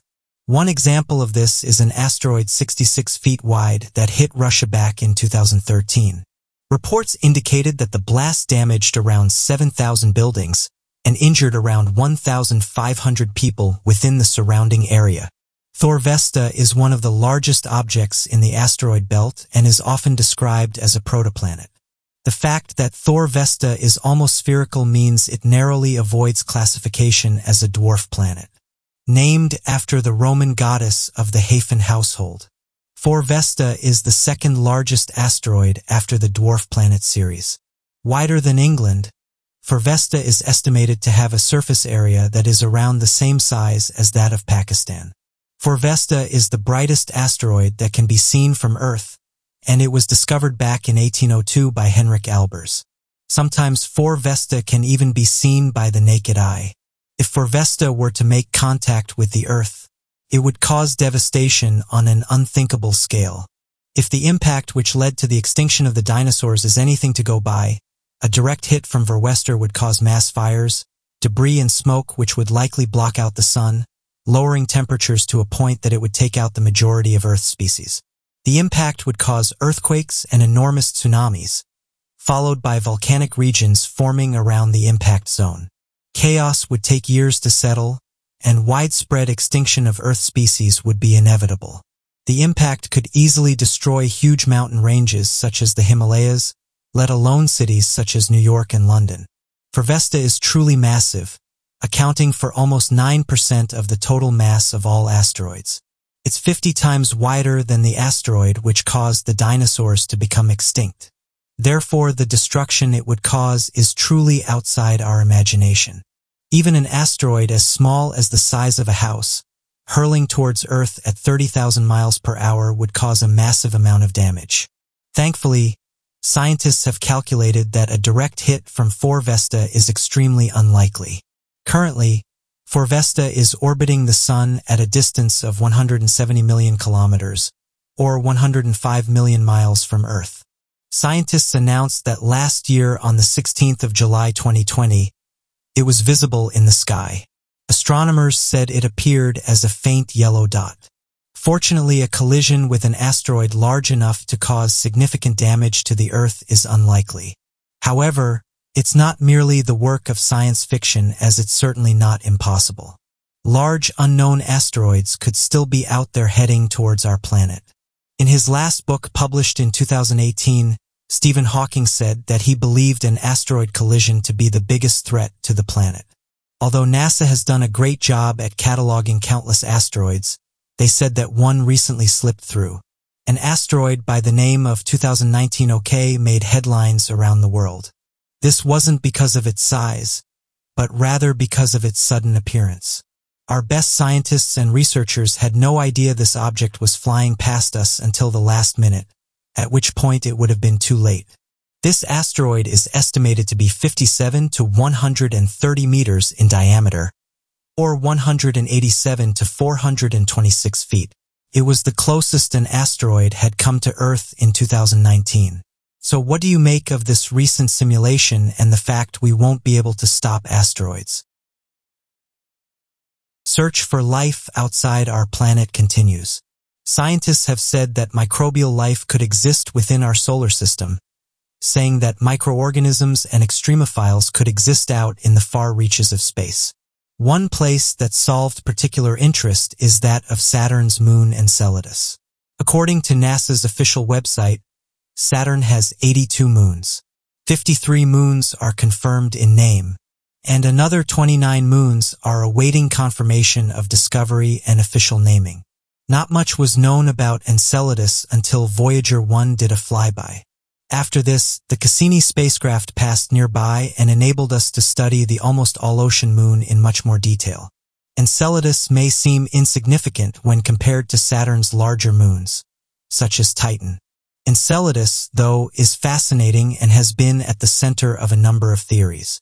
Almost completely covered in ice, Enceladus has an enormous ocean underneath that icy crust that is home to some of the most interesting recent scientific discoveries. In late 2019, a team of scientists announced they had found what's described as an organic molecule thought to be essential for the development and presence of life. Head scientist Dr. Khawaja and his team were analyzing data collected from the core of Enceladus. This was collected by the Cassini spacecraft when they found a tiny organic compound that they said would be found deep in the ocean. This compound is found in amino acids that are also found on Earth, and this indicated that this moon of Saturn could be a likely candidate for life. As mentioned, the majority of Enceladus is covered in ice, but has an ocean that lurks just beneath it, sharing certain similarities with Earth's poles. Enceladus ice sheets release vapor and ice grains through any slight crack in the ice surface, and this is due to hydrothermal activity. The ice grains that are released have been key during this discovery, as that's where the molecule discovered was found. This molecule that's made up of nitrogen and oxygen released through the cracks of Enceladus surface is also found on Earth in essentially the same way. Earth's hydrothermal activity causes vents to release similar molecules. Further exploration and research missions are currently in the works in order to try and understand everything we can about this incredible moon. These research missions will hopefully uncover more about Enceladus, as we don't really know the extent of what other essential molecules and signs of life there could be.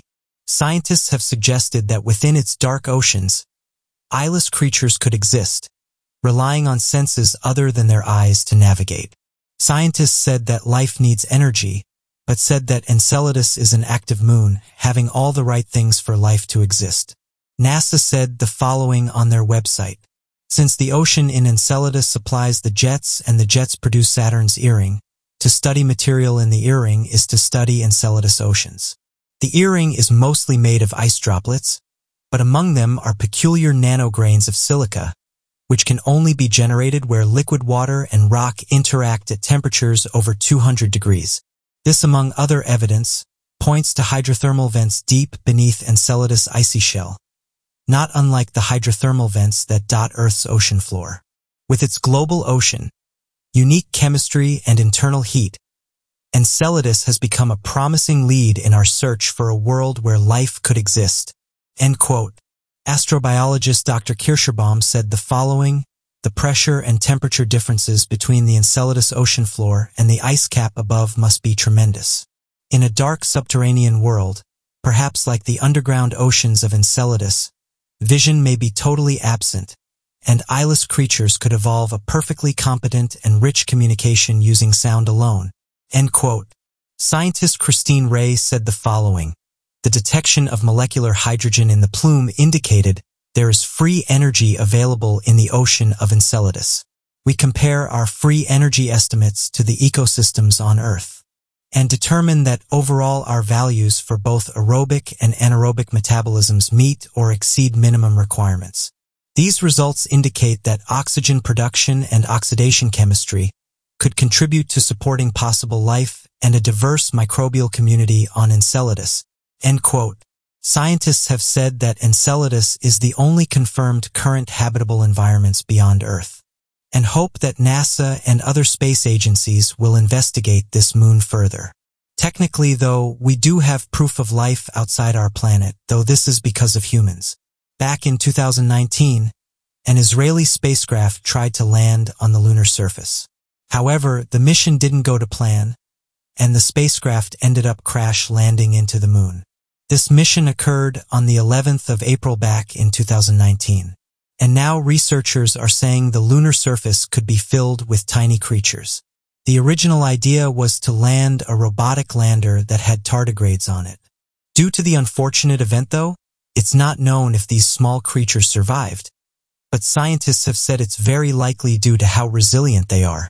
Scientists have called them extremophiles, due to them being able to survive in such harsh conditions. And one of the things that researchers are doing right now is studying these creatures to see if we can replicate what they do. If we were able to take some of the tardigrades' abilities and place them in a human, it would make us much more superior. At the moment, the human body is not great at handling harsh conditions. In fact, for humans to survive in an environment, everything has to be exactly right. It's been estimated that tardigrades have been around for over 500 million years, meaning they outlived the dinosaurs. Recently, scientists were taking samples from a subglacial lake in the Antarctic. After getting the samples tested, they made an unexpected discovery. The team had discovered tardigrades, with them saying they've never been found in this location, and it's still a mystery as to how they ended up there. Regardless, it shows us just how resilient these incredible creatures are. So what do you make of these interesting discoveries? And do you think there's life on Saturn's moon Enceladus? It's a well-known fact that when a top-secret aircraft is being made, the general public don't usually find out about it straight away. In fact, it can take years for this type of information to reach the masses, and sometimes it's not because the military wanted to tell us, but because there was illegal people had photographed said craft. One recent aircraft that's been talked about is that of the SR-72. The Lockheed Martin SR-72, also nicknamed the Son of Blackbird, is an American hypersonic aircraft currently under construction. It's the successor to the SR-71 Blackbird, a plane that was able to reach speeds of 3,529 kilometers per hour or 2,200 miles per hour and heights of 85,000 feet.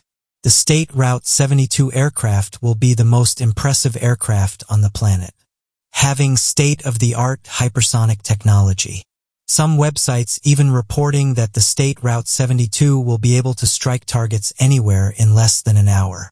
However, not everyone is entirely convinced that this aircraft is in its early stages, with some residents across the United States coming forward with their testimonies and photographs to prove that this hypersonic aircraft is currently flying around in our sky. As mentioned earlier, it can take a few years for the public to find out certain information, and it's known that we have the capability to build these kinds of crafts because back in the 1960s we had the Lockheed SR-71 Blackbird. There was nothing around at the time that could match it. Even today it holds the record as being the fastest aircraft ever created back in the 1960s. This incredible aircraft was able to reach speeds of 3,529 kilometers per hour or 2,200 miles per hour. So knowing that we had this kind of tech back in the 60s, it's easy to see why people believe that the SR-72 is currently flying around in our sky. One person was driving through Wyoming a few years back when they said they saw a mysterious craft above them. They said that these objects looked like two giant black triangles. Said due to where they were positioned in the sky, it was hard to get a decent photograph of them. However, they did manage to snap a photograph and you can clearly see that this aircraft is in the shape of a triangle. It's very rare for people to see these things during the daytime. The eyewitness said the following, on April 10, 2010, I was driving east on Interstate 1815 when I looked north and saw two black, wide, triangular-shaped flying crafts. I could see their shape as the lights from my truck reflected off one of the bottom of the slow-moving crafts. There was a light on each of the points of the triangle. One light was red, one was blue, and the third looked like a white or off-white. One craft was following the other, and they were flying low west along Interstate 80. They were flying slow enough that I was able to watch them for a while. End quote. Something to notice that, as of right now, no military has come forward to claim that they own these crafts, although sightings of them have been made for at least the last 50 years. These black triangles are somewhat of a mystery, with UFO believers saying that they're not the same as our crafts, while others have said that the latest line of stealth aircrafts.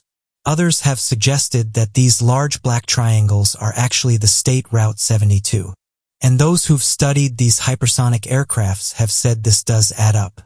Various eyewitnesses who've seen these black triangles have said they've been seen leaving an area at extreme speeds, and it would make sense as we're just learning about these crafts now.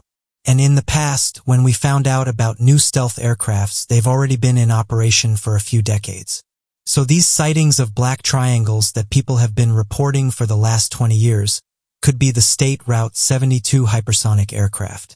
However, this isn't set in stone, and there's others who have said that we currently don't have anything that could match that of the mysterious black triangles.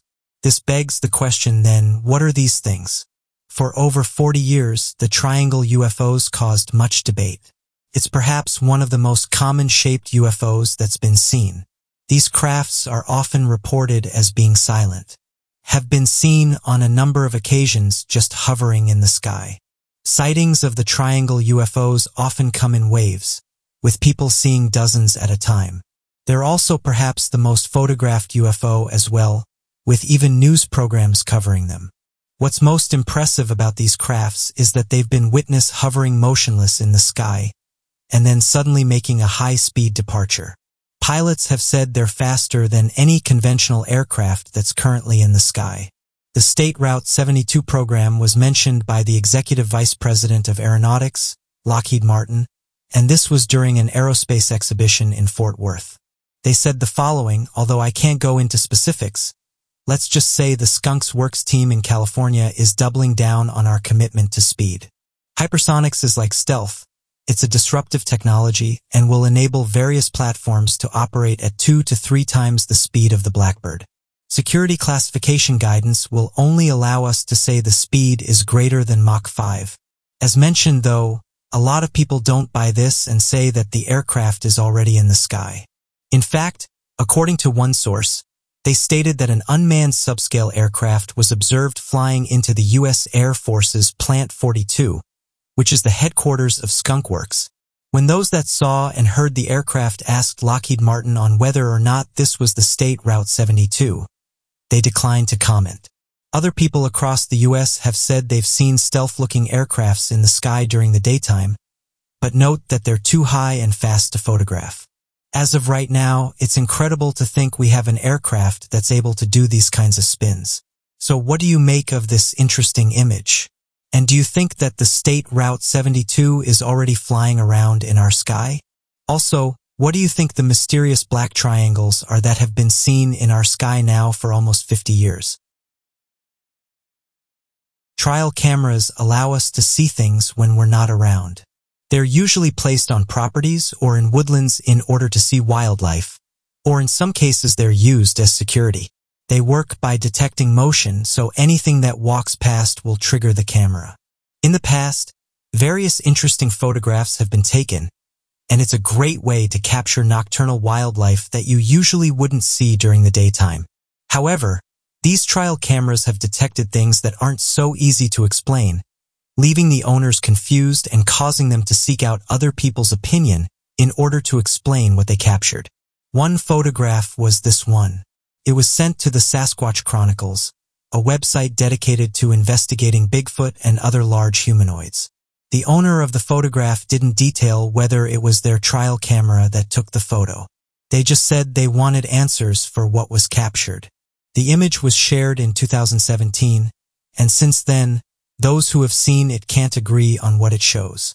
There's some who have said the entity in the photo may be a Bigfoot stretching his arms, while others said that when you zoom in, you're able to see two sets of eyes, something that many didn't pick up on. One person said the following about the image. This is one of the creepiest images that I've seen. You can clearly see the outline of this thing, and that the two glowing lights are located where a head would be. This makes me think that something is there. Also, it appears that there's another pair of eyes below the taller entity. End quote. Or this person said the following. I have a trail camera, but I've never seen anything like this. Sometimes animals will run or fly past and you get this weird motion blur, but it doesn't look like this. This image doesn't look blurry. It just looks like whatever is there seems semi-transparent or possibly hairy. I have no idea on this one end quote others though didn't think it showed an anomaly and said it's just a tree and the reflection you see is being made by the branches some experienced people though said that rarely will a trail camera give these false triggers and said that most people mount them to something sturdy in order to avoid this. Others followed on and said it may have been a ghost, while some said it looks like a Bigfoot with its arms stretched out. Many across the United States have reported encounters with Bigfoot-like creatures, with some researchers saying that different areas have different humanoids. For example, throughout North America, many residents have encountered the standard Bigfoot creatures, which is described as being 6 to 10 feet tall, having thick brown hair, and having a loud roar which can be heard in the forest at night. While some residents have said that another large humanoid creature lives down in Texas and Georgia, and this one is known as the skunk ape. Those who've seen it have said it's large, as black fur glowing red eyes and gives off a foul odor. In fact, the few people that have encountered it have said that one of the reasons they did is because they picked up on the bad smell and this caused them to go looking for the source of the smell, only to run into a primitive-looking beast that held above them.